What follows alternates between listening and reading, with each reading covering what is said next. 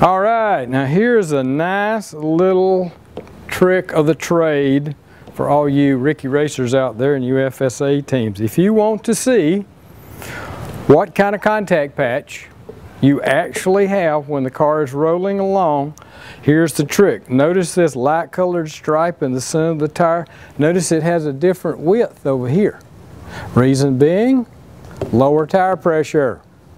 Also, you can look and see that the camera is camber is is biased negative over here. Also slightly biased here, so that means that the top of the tire is canted inward. And how do we get this nice pretty little stripe? Easiest thing in the world. Find some chalky concrete and roll the car along. And it will pick up this fine dust.